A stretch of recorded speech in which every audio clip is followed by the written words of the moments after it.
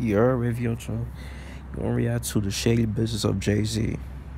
Say to become a billionaire, you gotta screw over a lot of people. Kinda like how Marcus stole Facebook, how William Gates, the sociopath, stole a bunch of Apple's ideas. Y'all all know Elon be wildin'. And none other than the Jigga Man, who today we're gonna use as an example. Now, this is no shade to Jay Z, he's just a perfect example because when he was coming up, he said he was a hustler. To be a billionaire, you gotta hustle, scam, bamboozle, and a lot of street hustling kind of connects to business. Now, Jay Z had a problem because remember, I just said to be a billionaire, you gotta screw over a lot of people. Some can see that as, ah, this guy's a jerk. But Jay Z is the face of his business. Like he says, I'm a business, comma, man. If you don't know how your commas work, he's basically saying he's a business. Now, if you are the business, your stocks can go up and down depending on you. Let me put it to you this way. If Elon Musk was this super nice guy who gave to charity all the time and he bought Twitter and it was failing, people will be like, man, that's tough for Elon. And a lot of people will probably help him out. Now we all know that's not Elon Musk, so people just laugh at him as Twitter crashes and burns and praise for his downfall. Now let's see how Jay-Z toes this balance perfectly with Tidal. Now, if you don't know, Tidal was this music service that Jay-Z bought a while ago. He said, yo, this is gonna be the biggest thing in streaming. Spoiler alert, it wasn't. Now, why Jay-Z started Tidal was actually a pretty good reason. Streaming platforms are not paying artists. So if he makes Tidal and he promotes Tidal, pays artists a whole bunch of money, people will love Tidal. And he actually did this by giving the most amount of revenue to artists. And he also made this whole grand production where a bunch of famous musicians. Yeah, Nicki Minaj there. Kanye West, J. Cole. Funny because Nicki Minaj not even is not even fucking with Jay Z after um Jay apparently like you know not not letting Lil Wayne like perform, you know. And Kanye West and Jay Z, they're not cool for for some other reasons. I don't think Kanye and Jay Z are cool either. So. Came on stage signing "We Own" part of Tidal. Jay Z gave it to us. Everyone's like, woo! Jay Z like, so y'all finna sign up for Tidal? Everyone's like, no.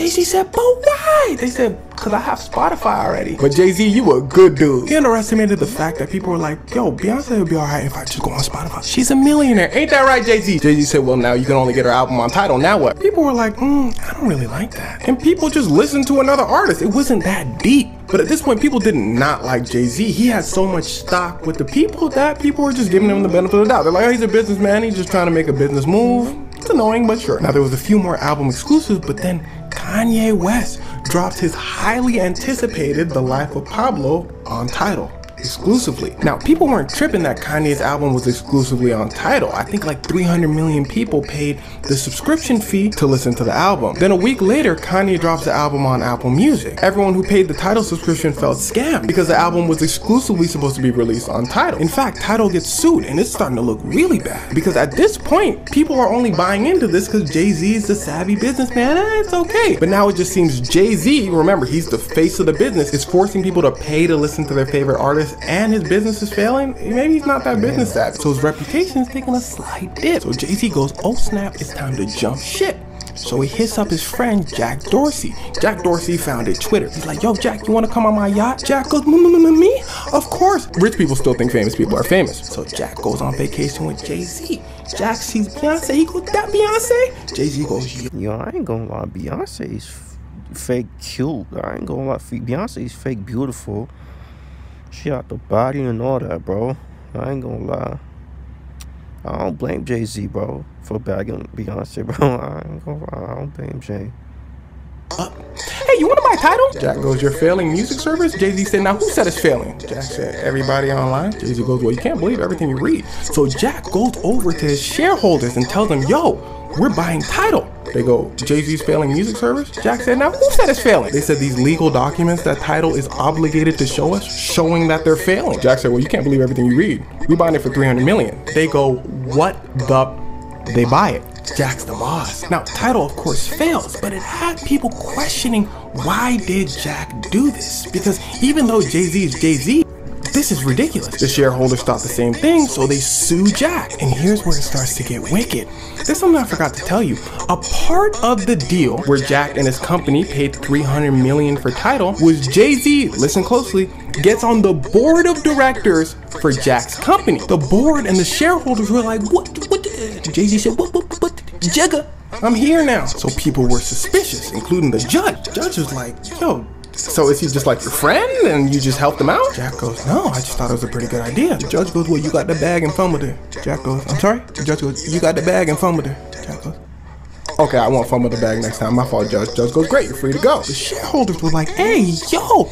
But in the judge's words, it's not criminal to make a bad business decision. In fact, I think the judge said a terrible business decision. The judge was like, this transaction was done in bad faith but it didn't break the law. And now it's time for our story break with today's sponsor, Aura. Aura is able to monitor your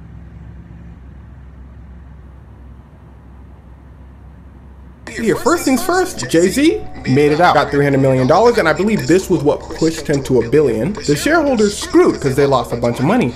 But Jack is where it gets kind of interesting. People either think Jack got screwed or he was in on this with Jay-Z all along, meaning Jay-Z and Jack screwed over the businessman. You keeping up so far? So basically, Jack pays some of that 300 million to Jay-Z, which he can totally afford. Jack hangs out with Jay-Z, they swap ideas, they become friends, and continue to work together when it comes to making a bunch of money in the future. Win-win for both of them. Shareholders get none of this with Jay-Z, and they just lose money. An NYU business professor called this an expensive tab to hang out with Jay-Z. Now, how does this make Jay-Z the hustler? Well, he basically sold himself instead of Tidal. When he knew the business was failing, he just went into the old hustler's playbook. Just pretend it's not failing and then sell it to a sucker. At first, he tried to sell it by pretending the number of subscribers were bigger than they were. They did actual projections on his numbers and they're like, bro, you're like 10 times below what you said you're doing. Jay-Z's like, let me see those numbers again. Oh, companies were like, oh no. Jay Z was like, but I'm Jay Z though. Again, in comes Jack Dorsey. Jay Z either hustles Jack or Jay and Jack hustle the shareholders. Anyway, Jay Z is actually not a stranger to these business tactics, pretending a product is good when it's eh. He's done this with his alcohol company, his other alcohol company, his clothing brand, pretty much a lot of things he has his hand in business for. Now, this isn't a bad thing. In fact, it's basically what a majority of commercials are. It's why companies hire celebrities to like use their stuff. Except Jay Z is both the company and the celebrity. Now, let's take things a step further and talk about how Jay Z first came into the rap game. He actually used this exact same strategy to become famous. Pretending something's amazing, it's actually worth nothing, but getting big companies to buy into. And that something was his record label, Roc-A-Fella Records. Now, I made this part of the video another day, and I'm too lazy to. So Jay Z, like, he's making like, making like something like work. Make Jay Z making something you know work. Yeah, I get what I'm trying to say. Jay Z's making something work. You know is make it like people like you know jacket you know but over, so here you go. Now, Jay Z's no stranger to this business strategy. In fact, he did this when he first started coming up as a rapper. As Jay Z says, he's a hustler from the streets. When he learned that you could hustle legally, he said, oh snap. So he went to record labels and said, yo, I'm about to be the biggest thing. Here's my, they said, who are you? He said, like I was saying, I'm Jay Z. I'm about to, they said, Jay Z said, Y'all ain't even listened to my album yet. And the funny thing is, Jay Z had a legendary album on his hands, but nobody was trying to hear it. They said, We good, Jazzy. He said, First of all, my name is Jay Z. Second of all, Y'all gonna see. So Jay Z had a problem. Nobody was trying to sign him. So Jay Z does what he knows best hustles. He gets his two friends, Dame Dash and Biggs Burke, and they create their own independent record label called Roc-A-Fella Records. They didn't have no money really. At least not enough to go on crazy tours or have like a whole album release. But they did have some cash from selling so what did they do? They spend it on clothes, jewelry, cars, all that. Now from the outside looking in, it looks financially irresponsible.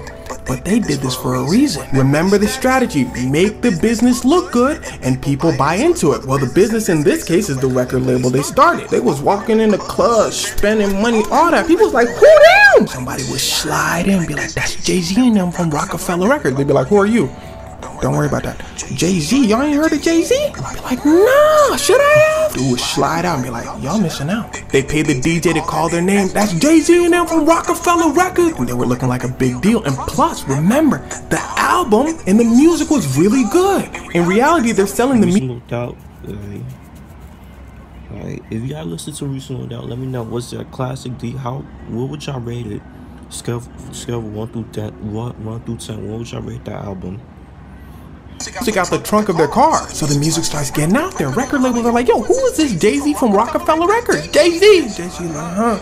They said, um, you want to sign to our record label? Jay-Z be like, no, I'm already signed to Roc-A-Fella Records. Record labels are like, well, we usually give artists 5% of their own. Like, created his own label. music. What if we give you 10? Record labels are a scam too, one of the legal scams. Jay Z said 50 50. Record labels said 50 what? Z would be like, okay, fine. They'd be like, wait, wait, wait, wait. Universal eventually signs with a 50 50 deal with Roc-A-Fella Records, which was insane at the time, especially because he only did this by pretending he was bigger than he was. Now, a lot of times in scams, people will pretend they're bigger than they are, and the other party will get nothing. Like what Jay Z did in the whole Tidal thing. Jay Z got 300 million, Jack Dorsey got sued. But in this case, even though Jay Z finessed a 50 50 deal, his music was actually really good. So Universal gets a big payout because of it. This gives them a lot of credibility, which later allowed him to snake one of his friends that I told you about earlier, Dame Dash. Now, saying that he snaked him is debatable. Dame Dash was kind of a loose cannon and he was making Jay Z look really bad, but that's a story for another day. Actually, I touched on that story. I'll probably put the video somewhere now, at the end of the day, as the business people say, it's just business. I would turn up if I got hustled like this, but I guess that's why I'm not a businessman. It takes a certain mind to be able to screw people over and just be okay with it. For the majority of us, they would probably just ring us wring us dry. And all a judge would probably say is, like the judge said to Jack's shareholders, you got licked. What Jack and Jay-Z did to y'all was certainly in bad faith. But don't hate the player, hate the game. Anyway, let me end this video by saying I appreciate every single one of y'all that be subscribing. If you're not subscribing, then subscribe right now. And keep an eye out for live content on Twitch. I'm gonna make that a place where we can just like hang out and like talk and blah blah blah blah blah. Anyway, peace. Okay, that's the vid, bro. So yeah, bro, let me know what y'all think about what Jay-Z like uh, allegedly did. What y'all think about Jay-Z, bro? Do y'all think he is a smart businessman? Like, how, how do y'all feel? Yeah. And as a rapper, bro, what would y'all, do y'all think Jay-Z overrated as a rapper or underrated as a rapper? Let me know down in the comment section down below what, what y'all think about Jay-Z, bro. Okay, but make sure you guys like, comment, subscribe. Y'all know the vibes. Wave y'all your chicken on you are.